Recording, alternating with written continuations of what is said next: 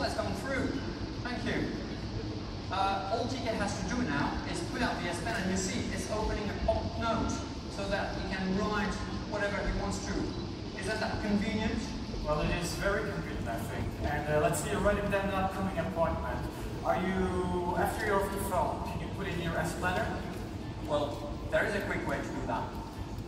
Let's say uh, it's the birthday party of your friend on the 1st of September,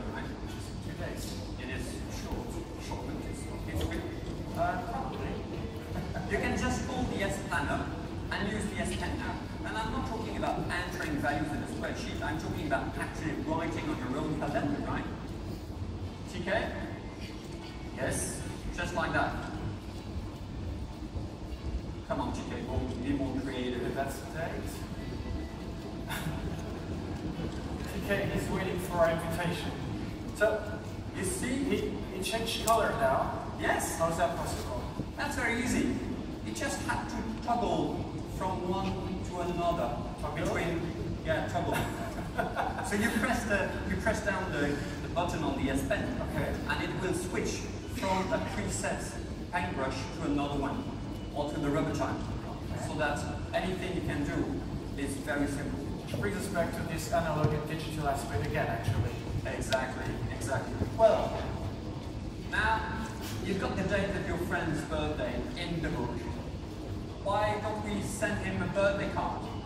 We've integrated Facebook in this perfectly. TK, can you click on that date and uh, click on the Facebook button? Yes, right, thank you. There is a birthday template.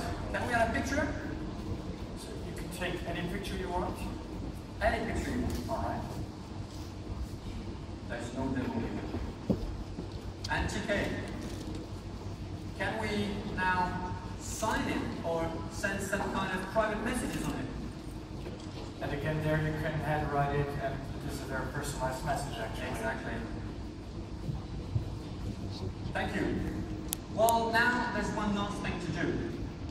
We need to send a birthday reminder to Jim for the party. And it's easy. And this is something I haven't told you about.